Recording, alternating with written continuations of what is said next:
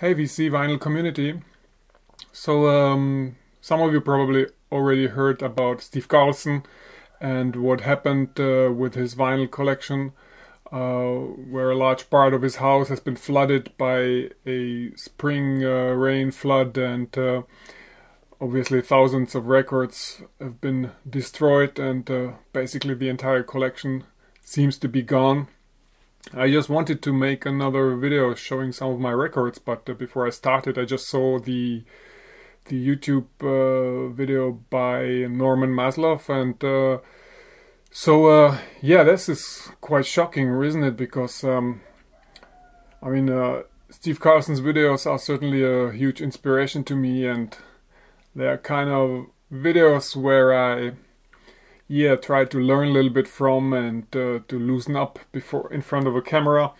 And uh, so i really like his humor and uh, find them certainly very inspiring to go on and to create my own videos and to keep doing that despite the fact that i never be as humorous and uh, as entertaining as as steve is. So um yeah so there is this uh, there's this uh, GoFundMe campaign where everybody who knows or likes Steve can chip in. Uh, I don't have a credit card, so first thing I ran to my wife and uh, borrowed hers, and uh, she was uh, glad to help, which is nice.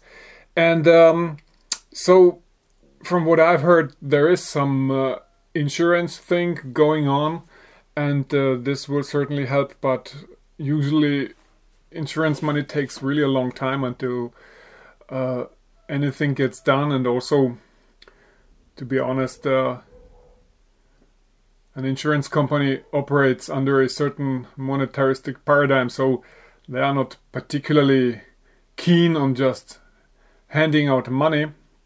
So they will put their own people on the case and probably try to lower the amount as much as possible. So I don't think it's very likely that you get uh, uh, the entire worth of your collection from your insurance company. Um, I don't see that happening, but uh, my hope is that uh, at least it will be a substantial amount, and at the same time that uh, the GoFundMe uh, operation works really well. So in combination, there might be some remedy to an already tragic situation. Now, I guess uh, an incident like that uh, evokes a lot of uh, primal fears amongst all the other record collectors. Uh, in my case here, I'm I was never particularly afraid of the water because uh, that's how we chose uh, the place when we moved in here. This is quite unlikely that we will be hit by floods here. But um, my other fear in this house where we're living is uh, fire. So this large part of this building is basically made of timber, and uh, so I'm quite paranoid about that. So um, whenever we uh, travel or leave the house for a longer amount of time than just five to six hours, I have a tendency just to kick out the the breakers and just kind of shut down any possibility of uh, electrical fire or whatever. Yeah, it's um, yeah, it's uh, it's an awful thing uh, to lose a record collection, no doubt about that. Um, this is the second time that I encounter something like that. Now, uh, Many years ago, um, I had met a Czech composer. He's quite quite successful and popular in, in the Czech Republic. He's living in Prague, and uh, he is a composer of uh, sort of modern uh, orchestral and and church music. And uh, his name is Vladimír Franz. He's a very interesting guy, and he's he's actually he's actually quite famous for his looks because he has this um, uh, passion for tattooing, and his entire face is covered with tattoos. And uh, he was even running uh, a couple of um, elections ago, he was even running for president of the Czech Republic, which was quite hilarious uh, when a guy like that appeared on television. But he's a, he's actually well known. But uh, the reason why I'm telling is is this because uh, I once hang out with him in a pub in in Prague, and we talked for many hours. And he told me this story that a few years before that, uh, an old buddy of his uh, crashed at his place for some weeks because he, I think he he maybe he was homeless or he was just I don't know. But um, and in the morning, uh, Vladimir Franz would just get up and uh, pick up some records from his record collection and uh, go to work. He was a professor at the university and he was a professor of music, so uh, he always had his records with him, just something like Schubert or Bela Bartok or whatever. And one day, this guy, I don't know, maybe he was he had an alcohol problem or something like that. However, he kind of fell asleep and lit himself on fire with a cigarette and uh, the whole place burned down, and uh, the guy the guy died in that fire. And but also there was this collection of like fifteen or twenty thousand uh, classical vinyl records that just turned into this giant uh, pile of black goo. And uh, well, he told me he was completely traumatized by that for for years to come. I mean, you just don't get away from that so easily.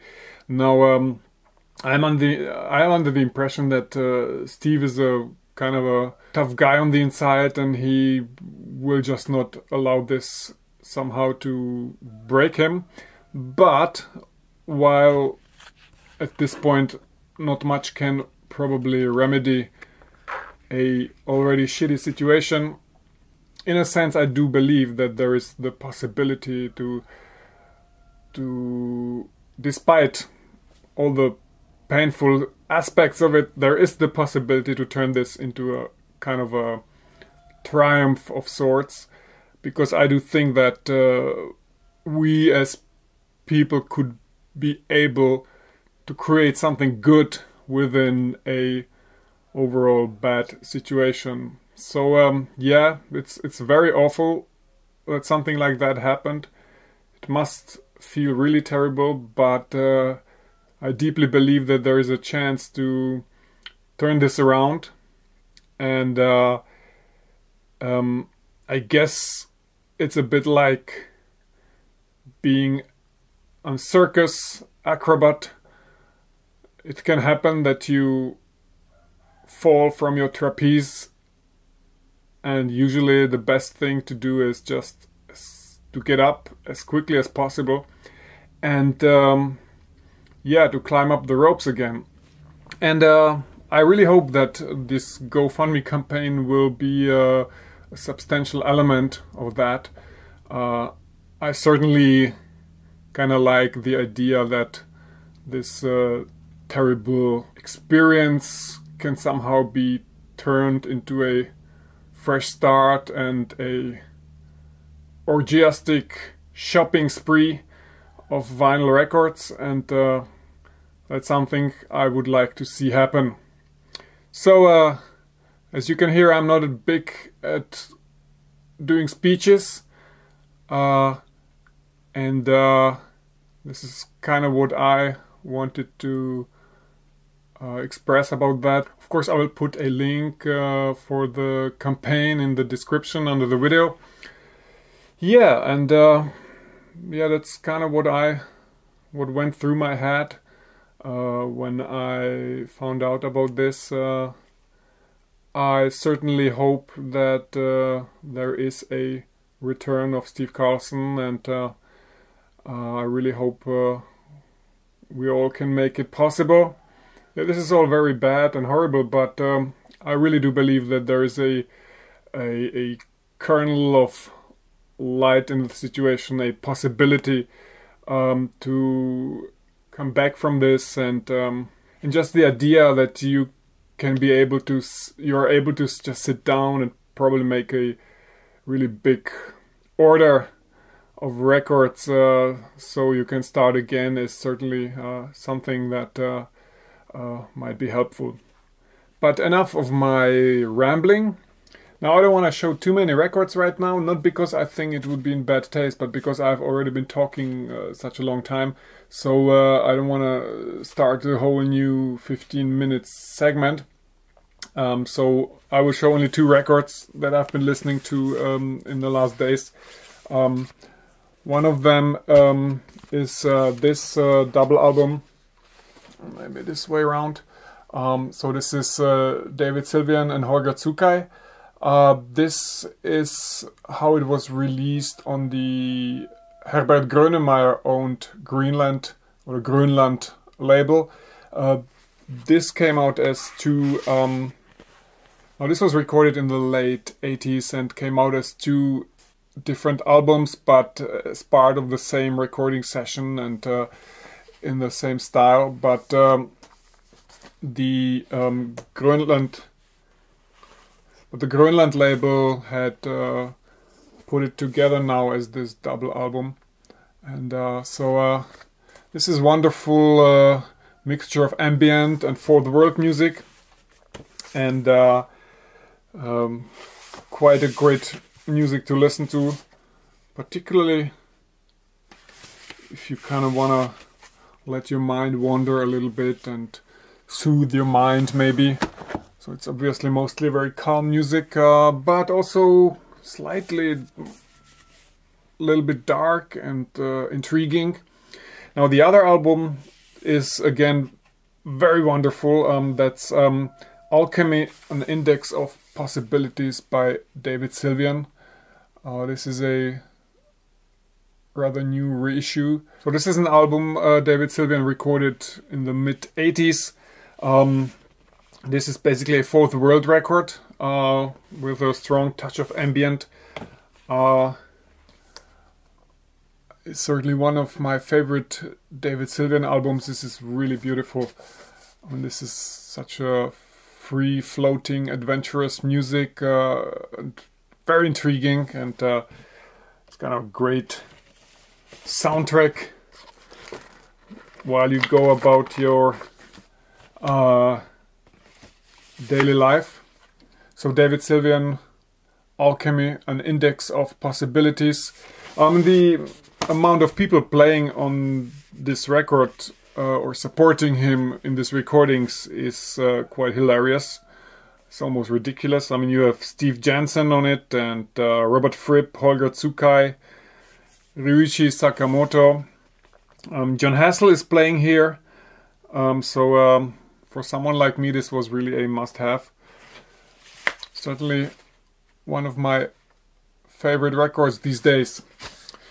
Yeah, so uh, that's it for the moment, and uh, my thoughts go to Steve, and uh, I really hope that uh, this whole situation will uh, turn around and uh, that he will be back. Well, if not soon, then certainly one day. So my bell on uh, Steve Carlson's uh, YouTube channel is activated. So when it happens, I will know. Goodbye for now.